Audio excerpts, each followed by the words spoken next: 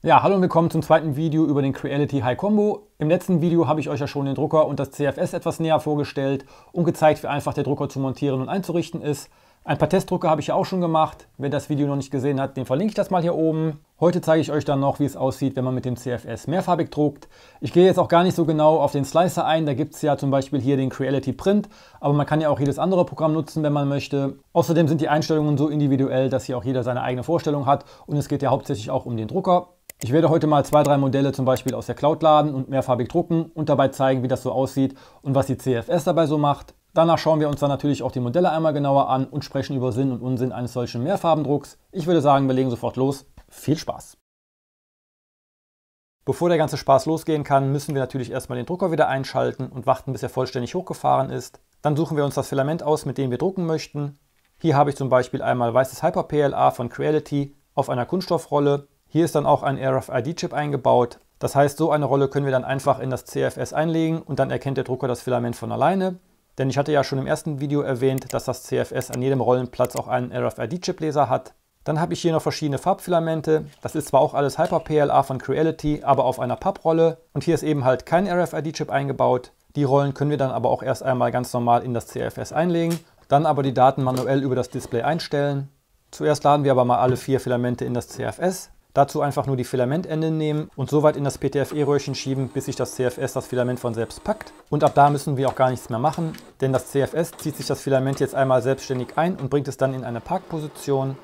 Das machen wir mal mit allen Rollen, die wir mit dem CFS einsetzen möchten. Dann sehen wir hier jetzt im Materialmenü am Display des Druckers, dass die Spule 1, da wo der RFID-Chip dran ist, schon vom Drucker erkannt wurde und alle Daten korrekt eingestellt sind und die anderen drei Rollen eben noch nicht. Um das einzustellen, klicken wir dann aber ganz einfach im Materialmenü auf den jeweiligen Rollenplatz im CFS. Hier jetzt mal zum Beispiel der Platz 2. Dann einmal auf Edit gehen und hier kann man dann den Hersteller und Art des Filamentes, die Farbe und die Temperaturen einstellen. Das machen wir dann mit allen Rollen, die keinen RFID-Chip haben. Und dann kann es auch schon an den PC und den Slicer gehen. Hier öffnen wir jetzt erstmal Creality Print und müssen als erstes mal den Drucker dem Programm hinzufügen. Das machen wir ganz einfach hier oben über den Reiter Gerät. Dann auf Scannen hinzufügen klicken und dann wird das WLAN-Netzwerk gescannt und der Drucker gesucht. Dazu muss der Drucker natürlich auch eingeschaltet und im WLAN sein. Dann wird der Drucker hier auch schon gefunden. Dann müssen wir den einmal hier anklicken und auf das Plus klicken. Jetzt ist der Drucker mit dem Programm verknüpft. Hier kann man jetzt natürlich jede Menge Einstellungen tätigen, aber wie gesagt werde ich jetzt hier nicht detailliert auf den Slicer eingehen. Dafür gibt es ja auch schon diverse extra Videos im Netz und ich werde hier auch erstmal keine großen Einstellungen machen und die Modelle so drucken, wie ich sie hier angeboten bekomme, um auch zu zeigen, wie die dann ohne irgendwelche Anpassungen gedruckt werden. Das feine Einstellen von den ganzen Druckparametern ist ja eh eine Wissenschaft für sich. Als erstes werde ich aber mal eine selbst erstellte 3D-STL meines YouTube-Logos einladen, um das auch mal einzufärben und bunt zu drucken.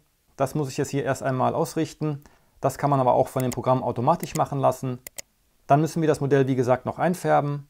Dafür gibt es dann hier oben das Einfärbe-Icon und wir können uns jetzt aussuchen, mit welcher Farbe wir welches Teil des Modells einfärben wollen und können das dann zum Beispiel durch einfaches Anklicken in der gewünschten Farbe einfärben. Das mache ich jetzt einmal mit allen Buchstaben. Danach kann man das Modell slicen lassen und hier sieht man dann das fertig geslicete Modell. Dann gehe ich einfach nur auf An Drucker senden, um vom PC aus den Druck zu starten. Im Display des Druckers sieht man jetzt, dass der Drucker die Daten bekommen hat. Er fängt mit dem Selbsttest an und wenn der abgeschlossen ist, reinigt er noch kurz die Düse vom alten Filament und fängt dann an zu drucken. Hier kann man jetzt auch schön sehen, wie er daneben beim Farbdruck auch den Turm noch setzt. Das muss er natürlich dann auch in jeder Schicht machen, um den Turm gleich hoch zu halten.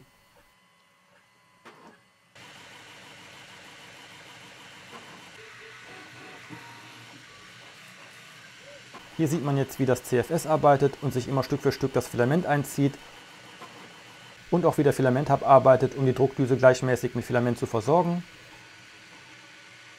Hier sehen wir jetzt mal einen Filamentwechsel. Zuerst wird das alte Filament automatisch abgeschnitten und dann vom CFS zurückgezogen. Dann wird sich automatisch vom CFS die neue Farbe genommen und an den Druckkopf geschickt. Dann wird die Düse wieder drei, vier Mal von altem Filament gereinigt, bevor dann weiter gedruckt wird. In dem Fall jetzt hier sehr kurz und dann wird das Filament erneut gewechselt. Wenn der Druck fertig ist, wird das verwendete Filament wieder abgeschnitten und vom CFS wieder zurückgezogen, dass kein Filament mehr im System ist. Zum Lösen des Drucks müssen wir nur die magnetische Druckplatte abnehmen, können diese dann verbiegen, weil die ja flexibel ist. Somit löst sich der Druck dann relativ schnell und wir können ihn sehr einfach abnehmen. Wenn wir eine Filamentrolle aus dem CFS entfernen wollen, müssen wir nur hier unten einmal den Hebel nach hinten drücken. Dann können wir die Filamentrolle händisch so weit aufrollen, bis das Filamentende komplett aus dem PTFE-Röhrchen rausgekommen ist. Dann können wir das Filament zum Beispiel hier am Rand einfädeln und die Rolle entnehmen. Dann nehmen wir als nächstes mal ein Modell aus der Creality Cloud. Da muss man natürlich auch angemeldet sein, um sich da Modelle runterzuladen. Zum Beispiel diese Katze hier. Da gibt es dann verschiedene Druckeinstellungen, die man sich hier runterladen kann. Manche Modelle in der Cloud sind hier kostenlos, manche aber auch kostenpflichtig. Dafür gibt es hier aber sehr viele Modelle, die auch schon zum größten Teil komplett bearbeitet sind mit Farbe und Einstellungen. Ich nehme mir jetzt hier aber das äh, Gliederkrokodil, das hatte ich mir schon mal runtergeladen. Daher wird das auch hier direkt in Creality Print angezeigt. Hier kann man jetzt wieder das Modell direkt slicen lassen. Wenn das passiert ist, werden hier links auch noch ein paar Daten angezeigt, wie Verbrauch der einzelnen Filamente und die Druckzeit. Dann können wir hier wieder auf Drucker senden klicken und dann auf Drucker starten. Dann wird das Modell wieder auf den Drucker übertragen. Nach dem üblichen Aufheizen und Kalibrieren startet er dann auch direkt mit dem Druck. Hier sehen wir jetzt auch nochmal einen Filamentwechsel. Hier wird wieder das vorherige Filament durchgetrennt, dann von dem CFS komplett eingezogen, bevor dann die neue Farbe wieder an den Druckkopf geschickt wird. Dann wird wieder einige Male die Düse vom vorherigen Filament gereinigt. Er druckt noch einmal die neue Farbe auf den Turm und fängt dann wieder an, auf dem Modell zu drucken. Und je nach Anzahl der Farbbereiche im Modell haben wir hier natürlich auch ziemlich viele Filamentwechsel während des Drucks. Nach dem Druck und Abkühlen des Druckbetts können wir dann das Modell auch wieder durch Verbiegen der Druckplatte ziemlich einfach lösen. Wir haben auch noch die Möglichkeit, über die Creality Cloud Modelle vom Smartphone oder dem Tablet zu drucken. Dazu müssen wir uns mit dem Gerät natürlich in der Creality Cloud angemeldet haben. Dann können wir uns über die Cloud ein Modell aussuchen, zum Beispiel diese kleine Vase hier. Dann kommen wir auch hier in so eine Art Slicer-Oberfläche. Da gehe ich jetzt aber ebenfalls nicht großartig drauf ein. Hier können wir dann das Modell direkt über Drucken an den Drucker senden. Vorher müssen wir noch den Drucker auswählen. Wir haben jetzt hier nur den Creality High. Dann müssen wir noch den CFS-Platz bzw. die Farbe aussuchen, mit der wir drucken wollen. Und dann werden die Daten an den Drucker gesendet und der Drucker fängt wieder ganz normal an zu drucken.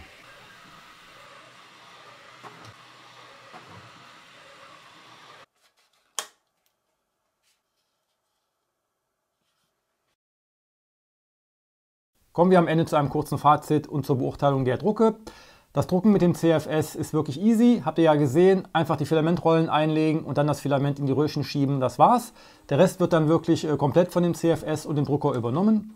Sollte mal ein Fehler zum Beispiel im CFS entstehen, wird der Drucker automatisch angehalten.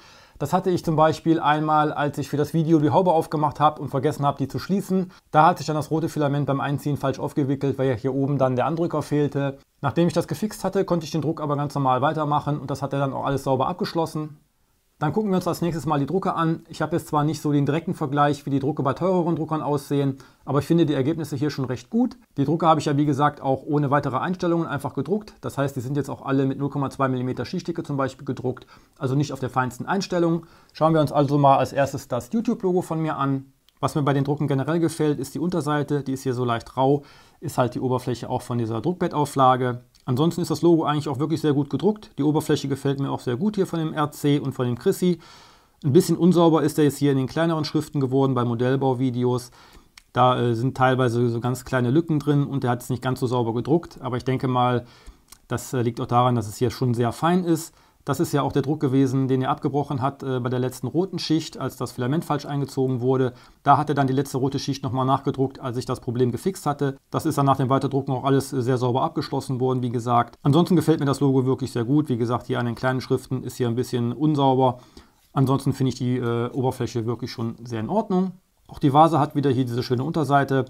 Und der restliche Druck ist auch wirklich sehr sauber gemacht worden. Wie gesagt, ist das jetzt hier alles in 0,2 mm Schichtdicke. Wir haben hier an der Kante eine kleine Stelle, die jetzt nicht so sauber gedruckt worden ist und hier vielleicht auch noch so ein bisschen unsauber. Ansonsten muss ich sagen, ist der Druck wirklich sehr sauber geworden. Auch von der Innenseite kann ich hier nicht meckern. Das ist auch wirklich alles sehr sauber gedruckt. Und die Vase gefällt mir im Allgemeinen auch sehr gut. Hat er wirklich sehr gut gemacht. Wie gesagt, ich habe jetzt keinen direkten Vergleich zu teuren Druckern, aber für mich reicht die Qualität völlig aus. Dann kommen wir zu dem kompliziertesten Teil, was ich gedruckt habe, hier das Krokodil mit den fünf Gliedern. Das habe ich jetzt hier in blau gedruckt. Die Enden sollen eigentlich gelb werden. Ich hatte aber kein Gelb, deswegen habe ich die jetzt grün gemacht. Ich finde, der Druck ist auch wirklich sehr sauber geworden. Klar haben wir hier bei den leichten Schrägen hier diese äh, leichten Stufen drin.